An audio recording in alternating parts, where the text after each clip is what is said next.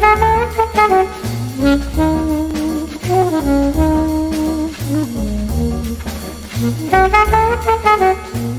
few years ago, for a gathering quite like this one, I'd written, I find Donald's new work both astonishing and reassuring. Astonishing in its constantly renewed vitality and directness, and reassuring in the way it relates at its core an innate sophistication which is an inextricable from his own character and experience. Looking around the gallery uh, now only confirms my opinion of that time. Donald has been at work a long time. At 78 years old, he has con concentrated his resources, both visual and intellectual, to produce an art that is self-referential in a positive way. The work we see is a practical demonstration of how culture can work itself out visually, uh, despite various conflicts of history, of race, and of politics. But the person who knows the most about all of this is the person sitting here. and uh, we will pass it over to Donald. You could continue yeah. instead of me. You are wise. Oh. I am only me, and I know naught about what it's all about. I deliberately know naught. I know nothing. I have. I was teaching at Augusta College, which is now Augusta University, and like um, a naive rookie, I began talking to this class for the first time saying, you know, well, I know nothing about ceramics. They were alarmed and startled.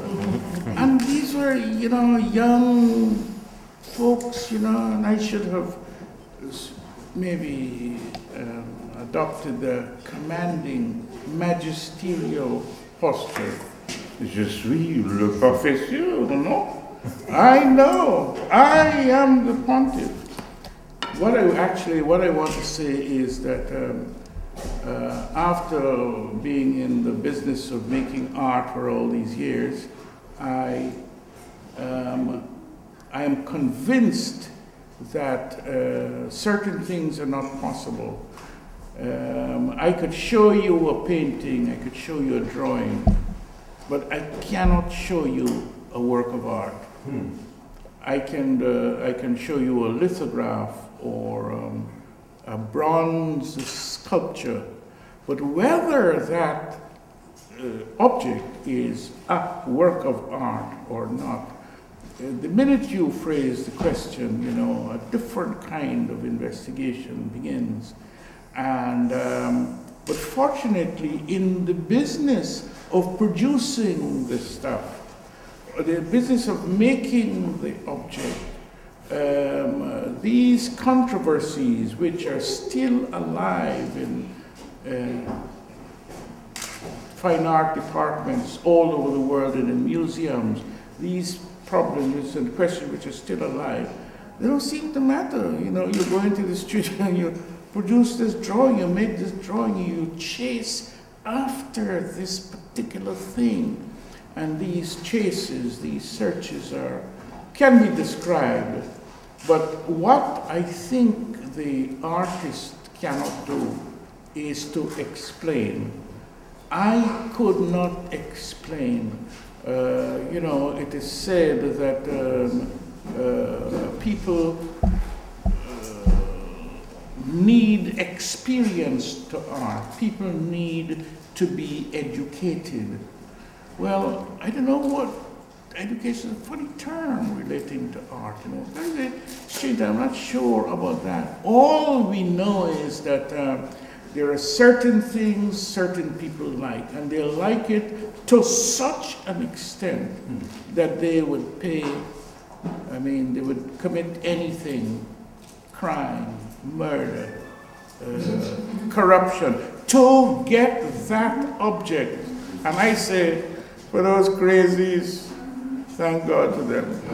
because those crazies, they are our audience. They are our audience. There's one such crazy, he's looking at me right now, and I'm not going to call, I'm not, not going to call his name. And uh, he is your audience. And he, you're all highly intelligent people, and I think I know you've sussed out what I'm trying to do. I'm trying to do anything say, explain what this is all about, you know. And I'm not going to do that, but what I'm going to do, this is one of my Bibles. This is um, Henry Miller, mm. Black Spring, first published in 1935. And uh, I dip into it every now and again.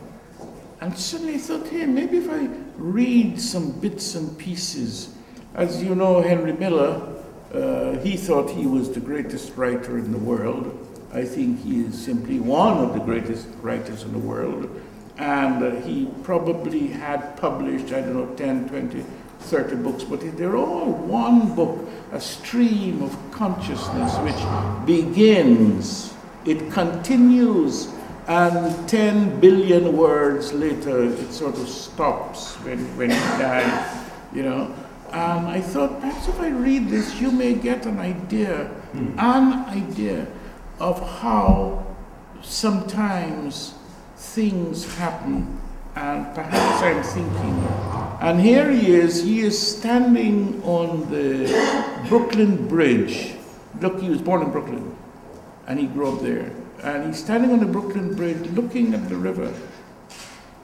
And he says, all the changing tides and weather that passed over the river are in my blood.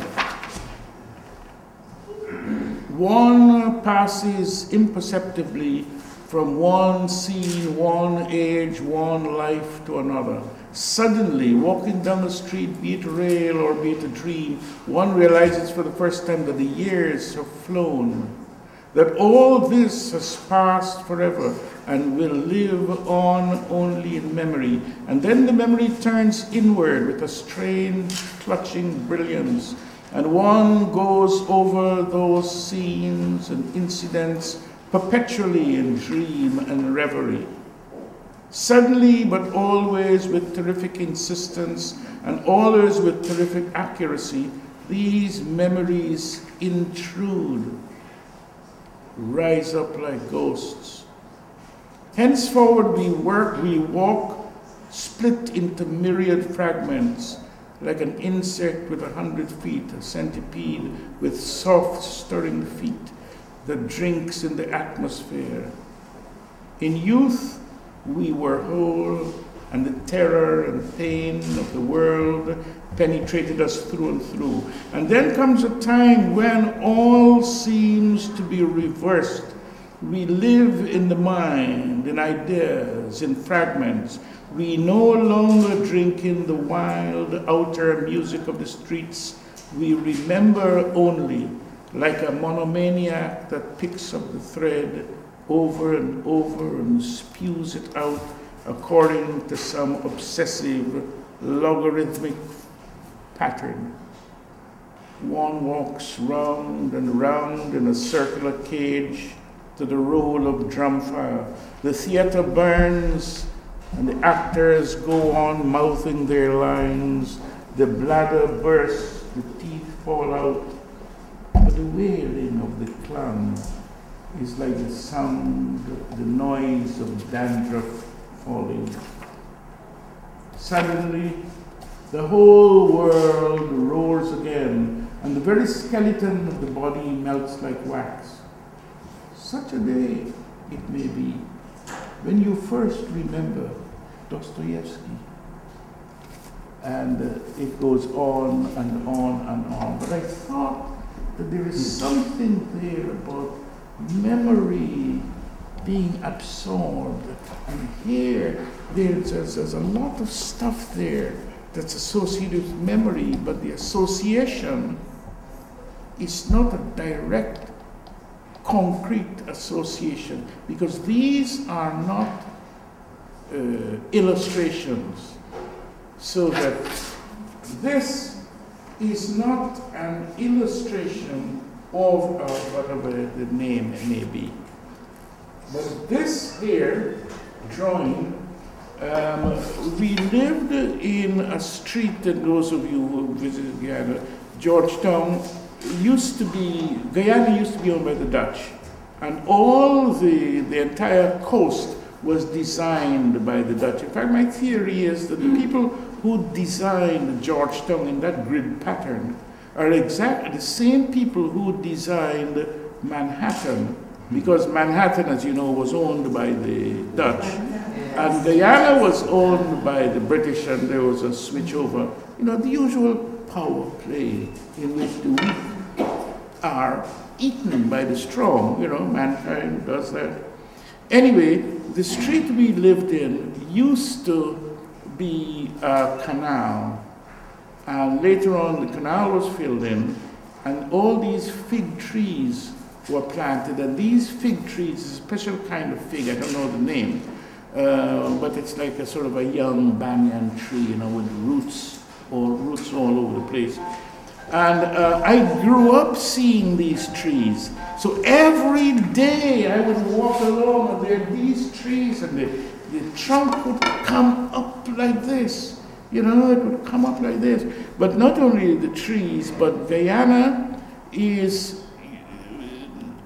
again, talking about memory and the things you remember, you remember, and the things you forget that you remember, and the things you don't remember at all until many, many years later, as he said, suddenly you remember Dostoevsky, suddenly you remember, oh yeah, that object there, oh yes.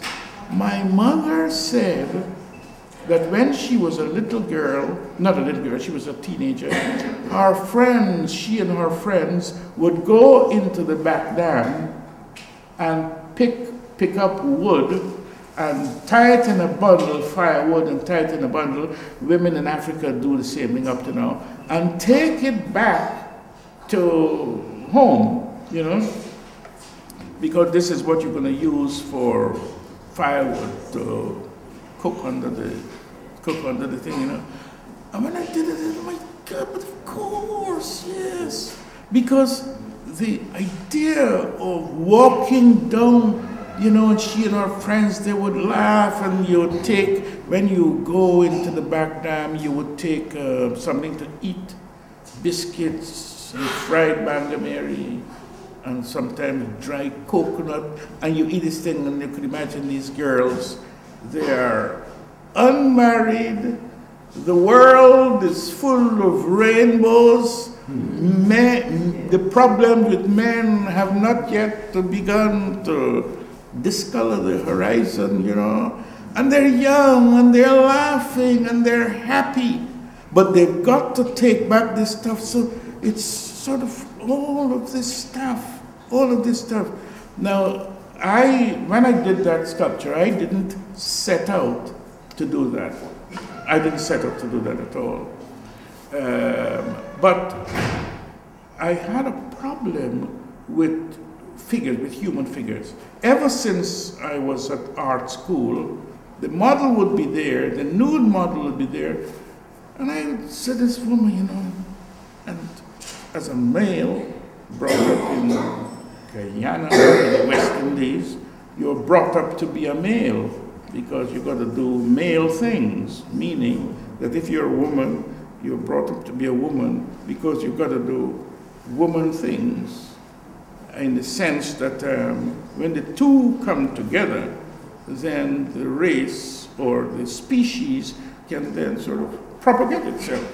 So that um, the female who is interested in the male is a different sense. Now I'm talking about 40, 50 years ago, not today. Anyway, I would always do, I would only work from here to the knees. I wasn't interested in what happened with the knees and the feet. And the teachers uh, at Edinburgh College of Art would get after me and they would say, Donald, oh, Donald, We're here to make you look at the entire human figure. Incidentally, my Scottish accent was the worst they'd heard ever. And I always did from there, they said, no, no, no, no, no. You must at least make a statement of the whole figure, the head, even if you do a little sketch of the head, and so you can present the entire figure on this page. And when you do that, then, you know, we know you like this, the intern, this part here, you know, which, um, if it's a female, she's got this uh, belly skin, you know, and she's got these breasts, you know, and this stuff, you know. And this is what I was, was interested in. But when you start to make sculpture now, what's going to happen to the figure from here to there? I cut off there, and I cut off there, and I cut off there, and it was never satisfying. It was, this uh, convention was never, never satisfied. I would cut it off here, you know, and then eventually I said, ah, yes, well, that's wrong. I'm going to add feet. So I got to get involved with feet, and I got to get involved with toes, which I hated to do. Uh, hated, but I look at my wife's feet, you know, and she's got bunions. she's got bunions, and the figure isn't hers, but the bunions, the bunions are, and I managed to get away with that. Well, what are you going to do with hair? I think I've done one female figure with fingers, one with fingers and arms. But when the instant that I put the that bunch of firewood on top of the figure, suddenly design works. The design works. Um, so the design works, and I thought, oh yes. So I cut off here, you know, and stuck this down, and that's why there. Incidentally, um, somebody asked about this figure. Uh, as a, a, young man, a very young man, I was maybe 10 years old, 9 years old, but you know, as a person, a member of the species, your maturity begins the minute you start to walk, you know, and you start to walk, you get bigger, and bigger and bigger, you recognize, you know, that, hey, that's another person there, you know. And if that person is sister, then that sister is different from brother. And you grow up and up with this burgeoning awareness.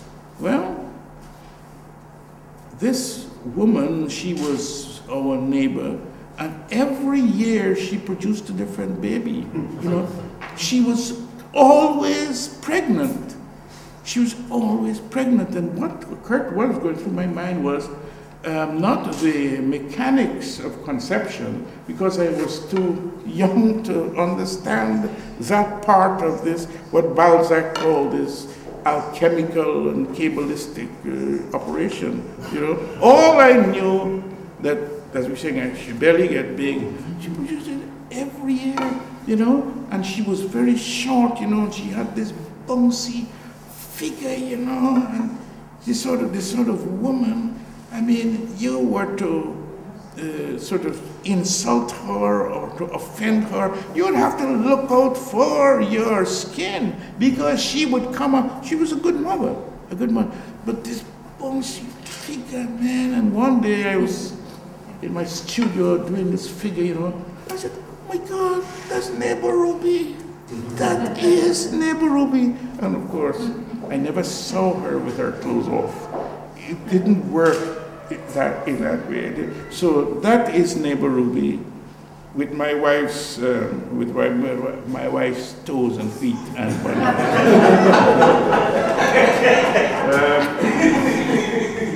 um, yes.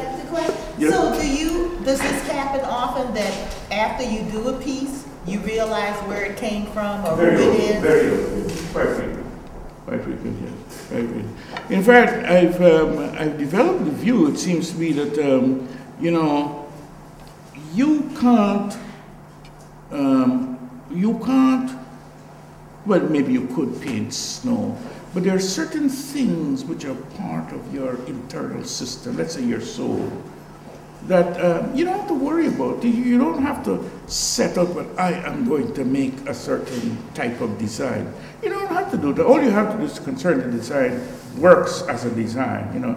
I've seen your work. This is uh, Cheryl. And I'm looking at this thing, you know.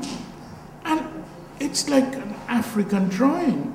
Now, she, I'm sure you didn't set out to do, but I am going to do an African drawing to express my African heritage. You know, when the Queen of England uh, is talking somewhere, she doesn't go around and say, I am the Queen of England. She doesn't have to. Everybody knows she is. So you don't have to sort of settle, I am going to do this. It is there in your work. And I'm reading this drawing, you know. She's got this drawing. She's, there's one little pattern there, and another one, and another one, another one. Another. The thing is full of patterns. And if you remember correctly, the colors you use were very much those earth colors. You know, it's, it's all over, it's all over Africa. So again, I believe, I really believe there's a whole ton of stuff that you don't have self-consciously to set out to do. It is going to happen whether you like it or not, you know. Believing as I do that, um, you know, you've got this stuff in you because you are not an earthworm or a tarantula or a chihuahua. You are a member of the human species. And as a member of the human species, there are certain stuffs built into your consciousness that you can't, you may change it here and there, but you can't get away from, can't, it's, it's, uh, what Jung, is it Jung or Freud who used the word imprinted? It's uh, imprinting. Well, this here this object here um, I, I was teaching in Chester, and uh, uh, one day a salesman came around with some um, uh, wax that he was trying to sell, a new kind of wax. And so he gave me a sample. Man, this wax was beautiful. Oh, oh it was beautiful. This man. So I took it back, uh, took it back to my studio in London, and where we used to go for weekends. And um, I started to play around with this, thing, with this thing, you know. And as the heat from the hand softened the wax, it became more malleable, which was beautiful for me. There are some uh, sculptors who don't like soft wax, but this particular wax, I just loved it. So man, I'm making this thing, you know. I'm held it in a certain way. Hey, that looks like a bull. That looks like a bull. That part there, maybe I could have a, add a horn to that. So I put a little horn, a little tiny. Hey, put, it was a bull. And it was a bull. And eventually I made a mold from the bull and I cast them all. And after a little while I thought, hey, maybe I could do this again. Now we know where Picasso's bulls came from. Uh, the great uh, traditional bullfighting in Spain, you know, and it's, it's, it's not a tradition, it's like a religion. You know, those huge bulls, you know, oh man, that old bullfighting thing, you know, you see photographs of some of the great, some of the great bullfighters, you know, the bullfighters about five feet tall, and that son of a bull is about five feet three inches tall, and as he does a wave of his cape, you know, the sharpened horns of the bull comes by. So we know where Picasso's bull comes. But after I did this bull, yeah, then I did another one. Then I remembered there's a Creole story. Uh, there's a Creole story in which a bull appears, and it's something that all Guyanese know. You go to school, you heard this story, and the name of the story is um, How the Agouti Lost Its Tail. Well, I'll tell you a story. The agouti and the dog, they were good friends. Very, very good friends. And you know, they'd wander around there, do agouti things and do dog things, you know. And one day, you know, the horned animal decided to have a party. And this party was going to be in this um, uh, steamer. And the steamer was going to park uh, uh, anchor in the middle of the river, and it was going to be a great, but only the horned animals were invited. You know, I mean, pronghorn and moose and elk and ram, goat, and all these things. Well, the dog and the agouti weren't invited, you see. And the dog said, shit, boy, I'd like to go to the party, man. I want to go to the party, you know. So the two of them got together and they designed a cardboard horn for the dog. And they stuck it with glue onto the dog. So the the party come now, the the party come, man, and uh, the dog walked aboard. You got this steamer there, the plank on the bank, you know. He walked aboard, he looked back, you know, everyone thought it was some sort of seaman goat, special equipment that they hadn't heard of, you know. Anyway, they took him aboard, you know, and the uh, plank was removed and the steamer went out into the middle of the. Great party, man, you know. Great party. You got girls, you got music, you got food, you know, this dancing with that and that, that and that. And the agouti, he was not of the party. He was on the band. Man, the man was so jealous. Your friend, Mr. Dog, had this wonderful time, man. So he shouted, Captain Bull, Captain Bull, there's a traitor on board. Examine the horns. And Captain, what? What's that? What's that? What's that? So, so the captain came with pronghorn. Look at him, you know, went to Mr. Moose, look at the moose. Then he went to the dog. When he went to the dog, he could see was paint and glue. Man, Captain Bulger vexed, man. With a skillful toss, he tossed the dog overboard, man. Well, when he tossed the dog overboard, Mr. Agouti now, who's on the on the back, see everything, and he know that his friend, Mr. Dog, angry, vexed, bad, bad, bad. He wait for the dog to reach the bank. The man take off, man, take off because he got to run and hide. And the dog said, you so so, you so so, yo. Oh my God, and the dog swam, hit the, the, the, the bank of the river, but by the time he hit the bank now, uh, Mr. Agouti gone. So he chased the Agouti. And you know, on all stories, these Creole folk stories, you know how long this chase would last? Three days and three nights. three days and three nights. Until, until Mr. Agouti, Mr. Agouti, he was just up, he catching up to the Agouti and he was just about to grab him, you know, and he sort of snapped, grab, grab, grabbed at him, grabbed it, and the Agouti jumped into the hole, but he missed the Agouti, but he got his tail and he was so fierce in biting that he snapped the tail off completely. And that is why up to this day the agouti don't have tails. Agouti don't have tails. Man, no, don't ask me why this story stuck, the bull stuck in my head.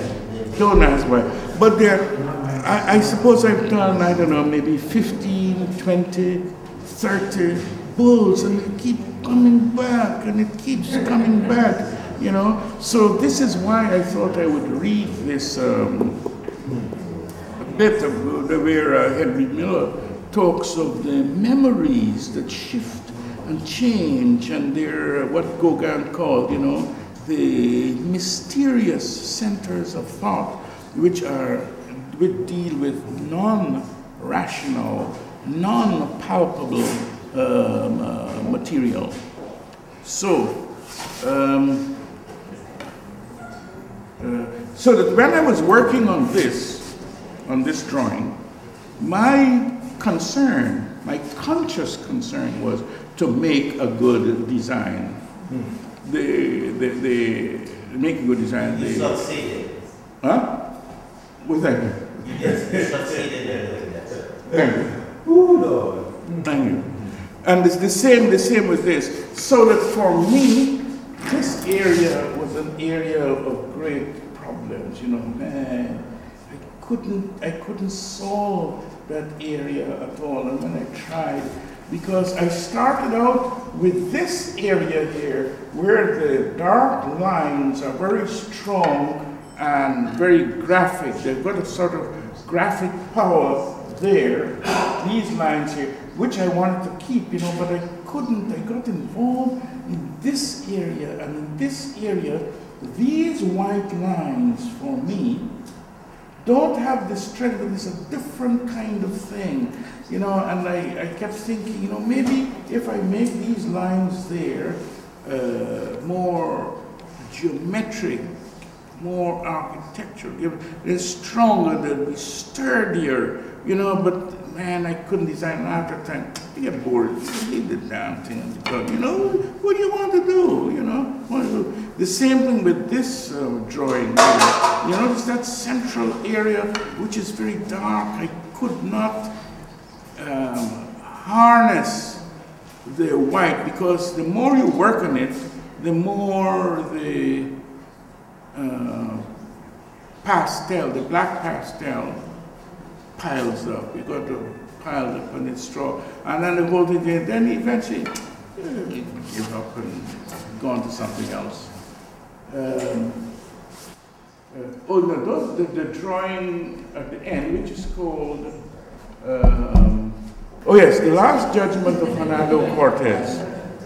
Again, you know, Cortez is something that we all, if you belong to the West Indies, you come from the West Indies, Cortez is one of these images, one of these icons that invest your head, you know, and um, it's not, you can't predict, you know, how Cortez inhabits your head or my head. With you, it, you may be a writer and it comes out in a certain way in poetry. But for me, I don't know, suddenly this thing started, uh, Cortez, end of story. You know, and that was it. So I'm not concerned uh, to uh, make sure that Cortez is there, except that I had to go looking for a helmet. And the gun, well, I had to find a gun. And there's a bull on the right hand side. There's a bull, bull on the right hand side. Oh, the fish. Fishes keep appearing, you know, and uh, I don't know why they appear. I don't know why they appear. But I know that um, in Guyana, and I think in most countries, lots of countries, there is a, sometimes there's a line of demarcation between adult culture and the culture of the young. And uh, in some countries, if you're very young, you're not supposed to be around when the older people, when the adults are talking their story because their story is very adult and it may be very frank and they may use certain words that you're not supposed to repeat. So you hear, but you're not supposed to hear. You're not supposed to hear what they're doing. Anyway, my I heard my mother talking to a friend, you know, she's got this, talking to old friend of hers. And she said, she's talking to this woman, forget her name, Teacher Eileen. Yeah, man, and Eileen, you know. Teacher Eileen, she wake up one morning, she tell me, you know, you know, Ivy, that's my mother, Ivy, you know, I dream about this fish. This, this, this fish, but really? And next night she dream about fish again, you know. Third night, teacher Eileen dream about fish again. And my mother's telling her friend, she's not talking to me because you don't talk big people story to children, you know. No, man, she said, you know, Eileen, you are going to get a baby. You are going to get a baby because that is what fishes mean. When you dream about fish, you're pregnant. You're pregnant. Well, so said, so done. The woman proved to be pregnant and she had a, she had a child or something. Well, I must have been, I don't know what, seven, eight or something when I uh, heard the story. I do not relate my memory of that with the presence of fish. All I know is that my things have a lot of a lot, a, lot of fish in it. But this object there not only this object, there's a tiger which appears somewhere. Oh, it's there. A tiger or a leopard. And it appears there, and I've done some other drawings, and we detail it. Now, tigers, as you know, only exist in India. There are some Asia, Asiatic tigers, there's a Siberian tiger, but tigers don't exist in Guyana. But leopards in Guyana are called tigers. And I think they're called tigers because when you call something a tiger, you're really saying it's fierce, it's badass stuff. It's a place chew up people, eat dogs, and it's a tiger, you know. Like I know this woman, you know, my I heard my mother teasing her about this man's husband, you know, and they were calling this man a tiger, you know, and I was a little small boy. I said, I wonder what she mean, call this your husband a tiger, you know. Well, I didn't know. Anyway, um, the leopard is called a tiger. And you could imagine what it means. This thing is fierce, it's bad. But I remember this day, I must have been, I don't know, must have been six, seven, seven years old. Man, and the, there was a, a noise, the, the rumor went around that there was a tiger in the back dam, a tiger in the back dam. Well, in Guyana, the coast, the entire coast is uh, below the level of high tide, and um, the Dutch uh, first built a seawall, referred to sea defenses, yes, and so coming, walk, coming inland, there's the shore, there's a seawall, there is the alluvial coastal land where there's rice and uh, sugar cane crops and so on. And then there is this conservancy canal which separates this area from the coastal savannas. And when we, so, so there's a dam, an earth dam, and this canal. So when people say the back dam, they mean these lands at the back.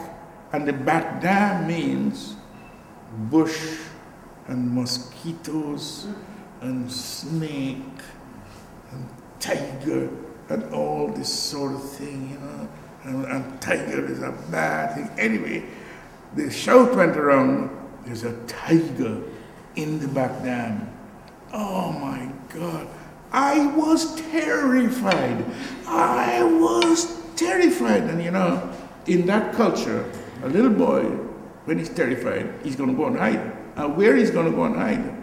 This time he hides under his mother's bed, under the parents' bed. You're going to go there because it's like Bill Cosby all over again. You know, you know tigers can't get there because for a tiger to get there to attack you, the tiger got to go past your mother, got to go past your father, got to go past neighbor Ruby. So you are safe. You are safe under that bed. And then you know that the people, the men are getting around. They got a, maybe cutlass and a machete, and maybe somebody got an old gun, and they're gonna go and kill this poor, they kill this poor tiger. Man, oh man. And to make it worse, to make it worse, the sun was not shining that day. the rain wasn't even falling. It was dark in the afternoon. It was overcast in the afternoon. So I was in terror. I was in terror. Well, at least now, looking back now, I think, oh, this is why I like them tigers, man. I like this is why I like, this is why I like them tigers, you know. So they got a lot of tigers, you know, I, like them tiger, you know, because the thing about the tiger is, he's made of paper. He can't come out of the drawing. no, he can't come out. He get, he get locked up there, man. You know, he get locked up there. I'd like to know, on top of the pots, you have either feathers or you have like fur. And you had said earlier you believe that everything that you express is in the recesses of your mind? Or in the DNA, really? Okay. Um, did you do research or, this is Congolese. This is very much African line. It's very much like talismans. I am not an African. I don't call myself an African. I call myself, I am a Guyanese in exile. yeah, I'm a Guyanese in exile. However, however, in the same way, um, uh,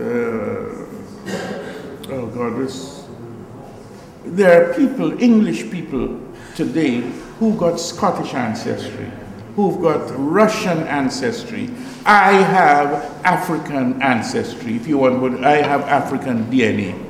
You know, and to me, it's not a, it's, it's not a, there's nothing to be remarked about it because I am simply one of millions and millions of people in the new world who got the same DNA. But I think one of the, um, one of the differences is that I, there was a time, for instance, like Henry Tanner, Henry Ossawa Tanner, when he was going to art school, when he was going, and he, in, in the middle of his career, African art was not something that we studied and reached out to, you know.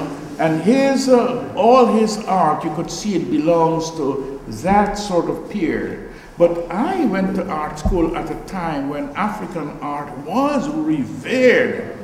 It was for all sorts of reasons, which we didn't get into. It was absolutely re re revered.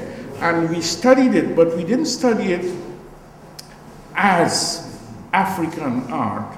We studied it for its special qualities. And uh, as Henry, as uh, Picasso said, you know, um, uh, Picasso said that it wasn't the formalist uh, motives which he picked up from African art. It was, and he insisted on this, it was the power, this raw power of tigers that was in, that he could sense was in this sculpture. And this is what we felt. So that at art school, to say, to, to, to tell somebody that their work had primitive power, primitive power, we would, we would have, uh, we thought that as a great, as a, as, as a great compliment, as a great compliment. So for me, I grew up, I grew up familiar, being very, very familiar with these um, things which today are identified as African. But for,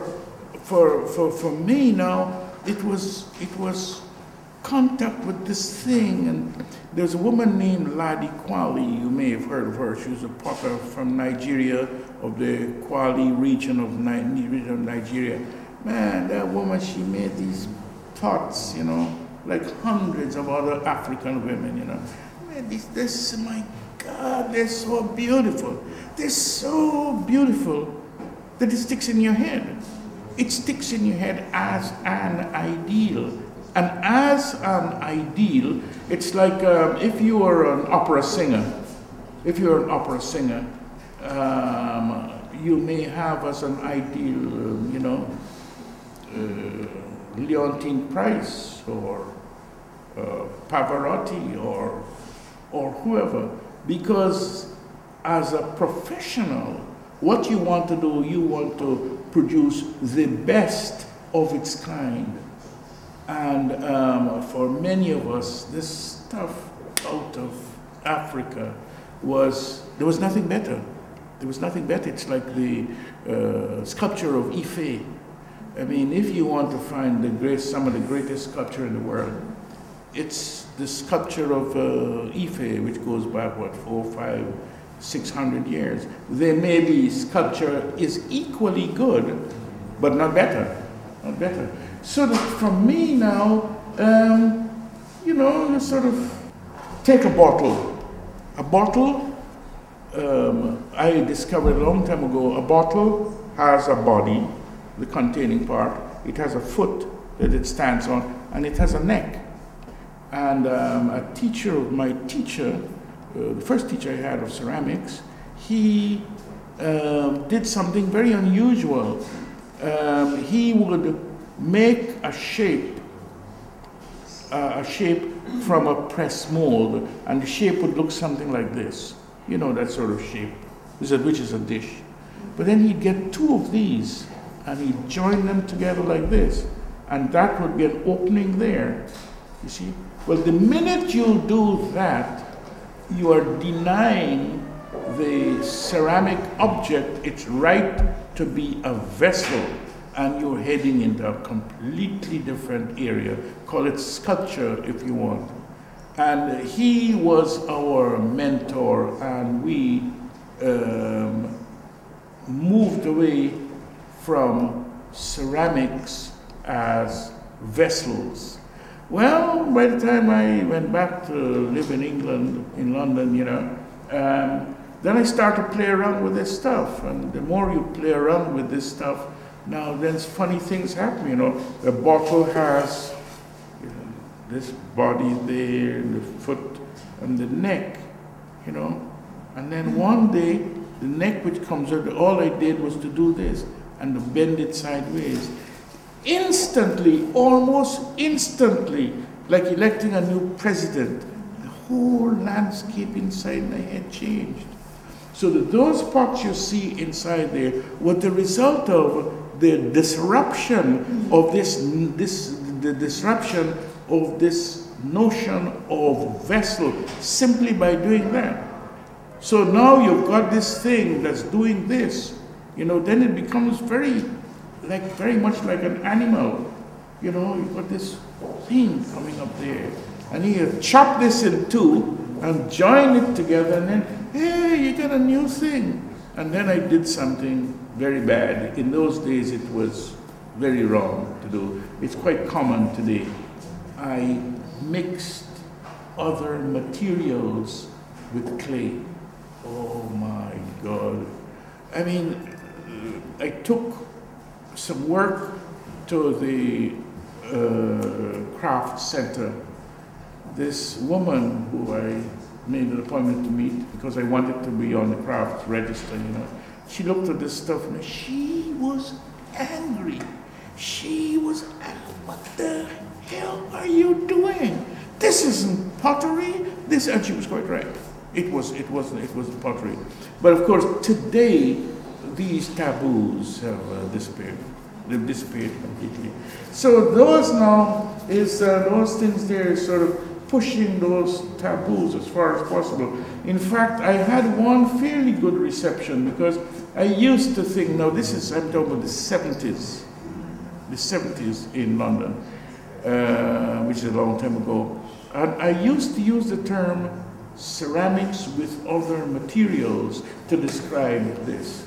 And the, a man named Donald Bowen, who was director of the, the Commonwealth Institute Art Gallery, um, he changed it around and he began to use the term uh, mixed media ceramics, which I prefer, much better. For, well, today it's quite common to see people using, you know, use, using different materials, but in those days, I'm talking about 71, 72, 73, 74, it was not only rare, but um, uh, very, very strange indeed.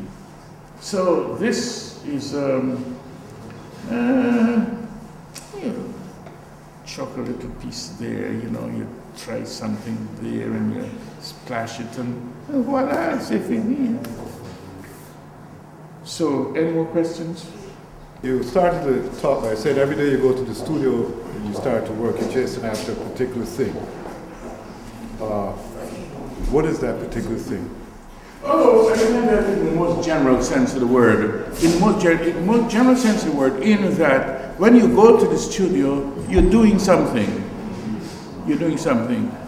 Um, what you're chasing, if you're chasing something, it could be one of hundreds of different things.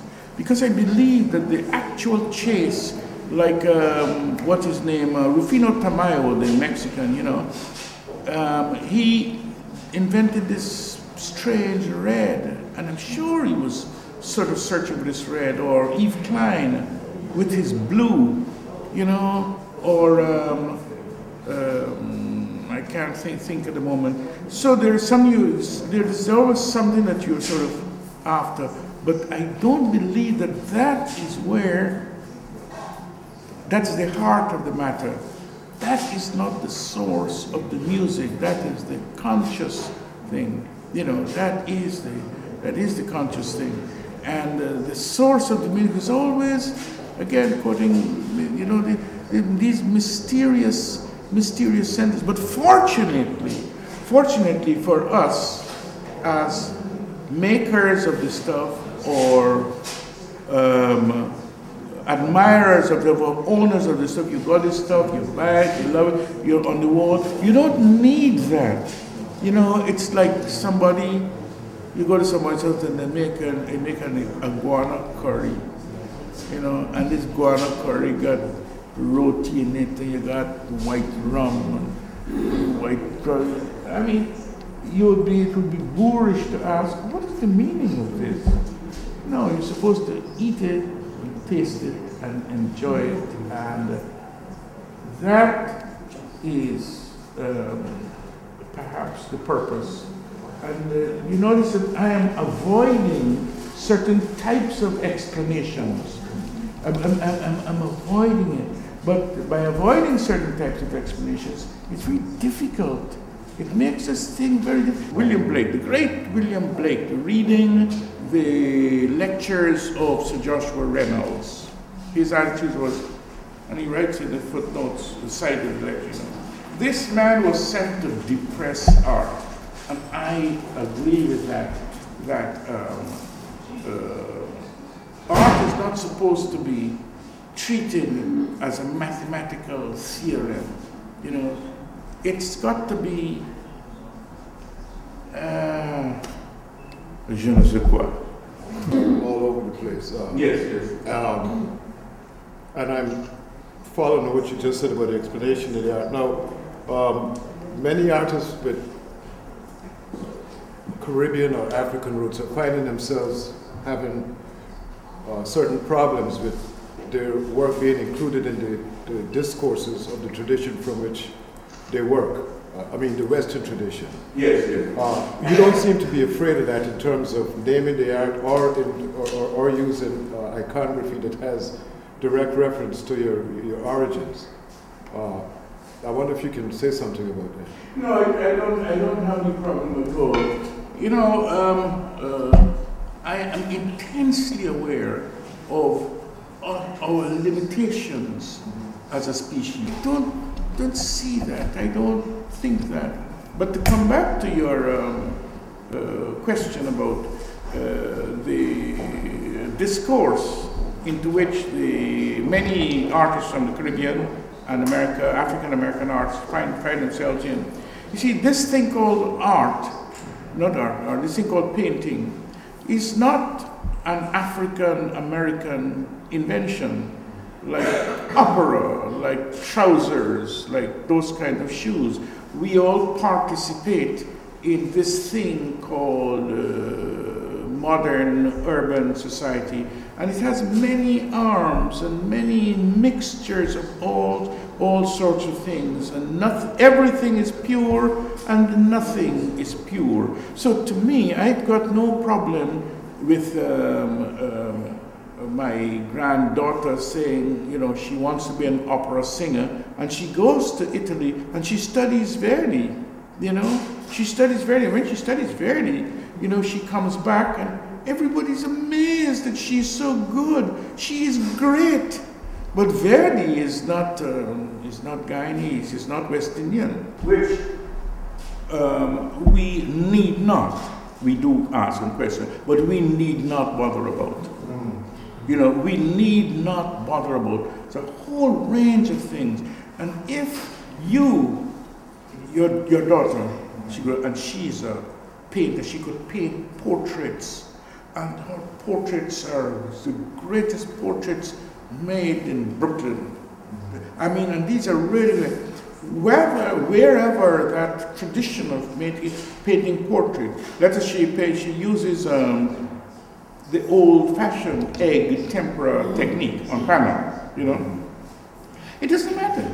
I don't think it matters, you know. Because um, let us say another daughter of yours, she becomes an electronics genius and she invents a new type of um, nanotechnology which gives you computers as big as that, you know.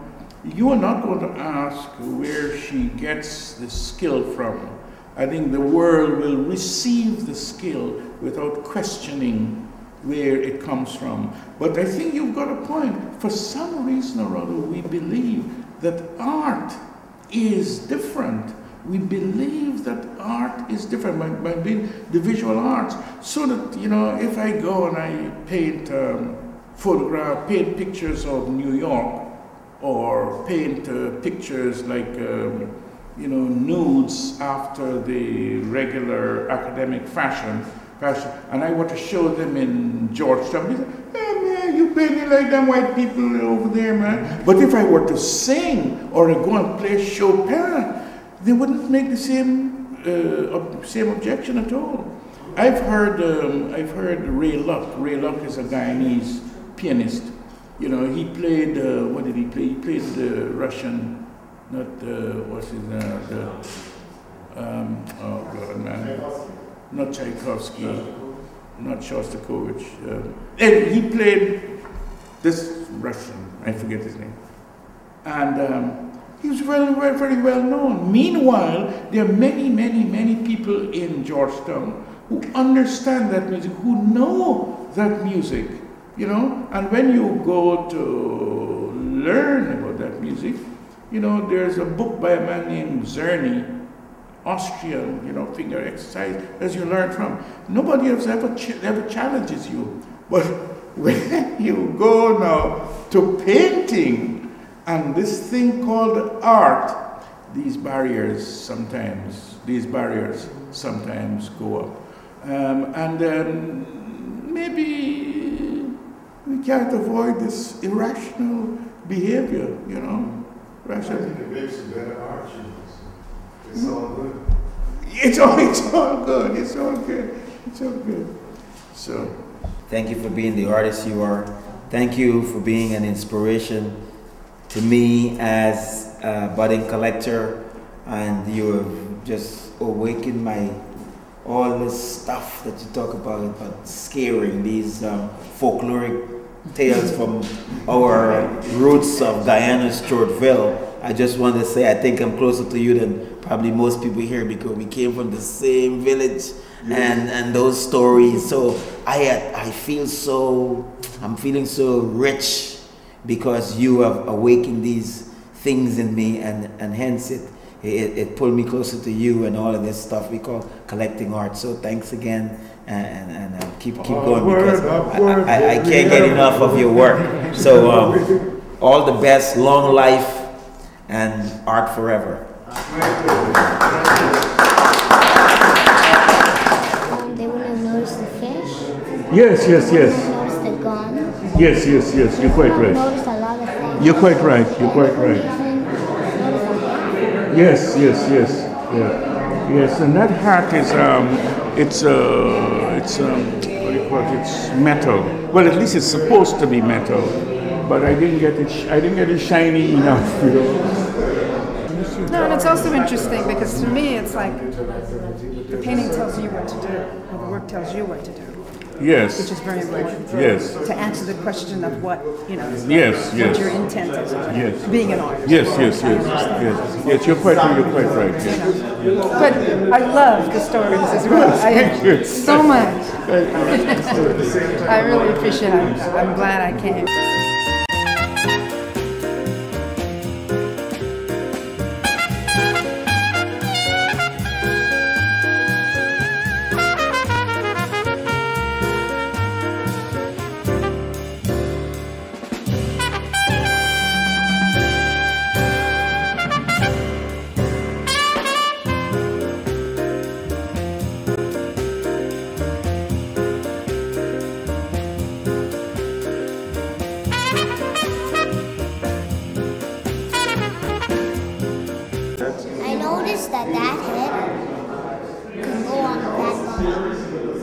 Head could go on this body.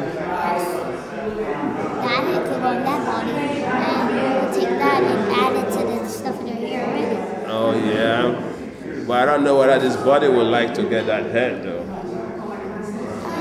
probably if they made the head smaller. Yeah, they made might have the to body make. bigger. Yeah, they might have to make the head smaller. Or the body bigger. Because yeah, because this is a this is, that's a tough head right And they could take the head and put it on. And put it on top of it. it. And it, it's like Yeah, but that means uh, either the but just like you said, either the body gets bigger or the head gets smaller. Yeah, every, almost every day of the week I'm busy except for Tuesday. Yeah, yeah, that keeps you out of trouble too. Sunday, Sunday's Chinese. Mon- Sunday's Chinese. Mondays chess. Tuesdays free. Wednesdays orchestra. Fridays um. Fri- Thursdays I, I didn't count Thursday yet. Thursdays piano. Fridays violin and Saturdays karate. Wait a minute, what time? When do you spend with your boy, your girlfriend? I don't have one. Oh, you don't have one. I'm not good enough. Huh? I'm not 16 yet. You're not 16? okay, I was wondering. We opened the gallery in uh, 1992. We opened the gallery in, uh, in Soho. We used to be on Prince Street. And then uh, we moved from there to, to Chelsea, to this location in 98. So we've been here since 98. We try to give a different tack on contemporary uh, contemporary art. I, you know, I'm from Nigeria. I show a lot of contemporary African art, and uh, but like I said, the question becomes when you are in a city like New York, what is Africa? You understand what I'm saying? You know, so it touches touches as far and wide as you can think of. You know, you know. Um, so, we, but basically, what we try to do is to give a, a different perspective on contemporary art, you know, in, in Chelsea.